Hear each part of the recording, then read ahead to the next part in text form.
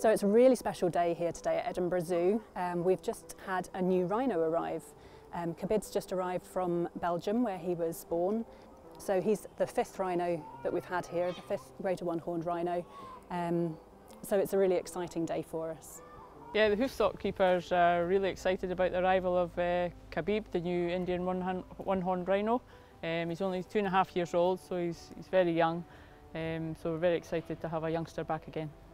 Well, obviously at Planckendael Zoo, where he came from, the, um, when we found out the date he was due to arrive, um, he was trained to go into a crate. So um, every day he'll have been asked to, to go into the crate and he was given a reward of either apple or pear, which is his favourite treat. And so every day they did that. So on the day of actual him leaving the zoo to come to Edinburgh Zoo, he was quite calm and easy to put in the crate. The whole box plus him was just over three tonne.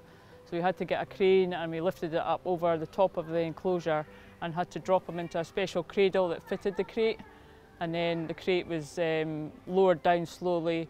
And then when it was all fitted into the cradle, was, the slides were open for his crate to let him out into our hard stand area and then he was shut into the house.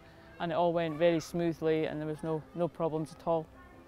So obviously we gave him about an hour, a couple of hours just to settle in and then we opened up the slide to the outside enclosure and he was really good. He came out quite fast and a bit nervous at first, but then he gradually took steps at a time and eventually out in the big enclosure and he's been right round it to have a wee good look at it and he's been in the pool as well.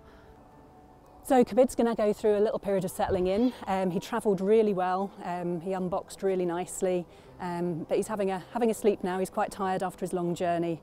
Um, and over the next couple of days, he'll just be settling in. Um, really lucky visitors might get a wee glimpse of him over the next couple of days, but certainly over the next couple of weeks, he's going to become more and more visible um, as he gets more confident in his new enclosure.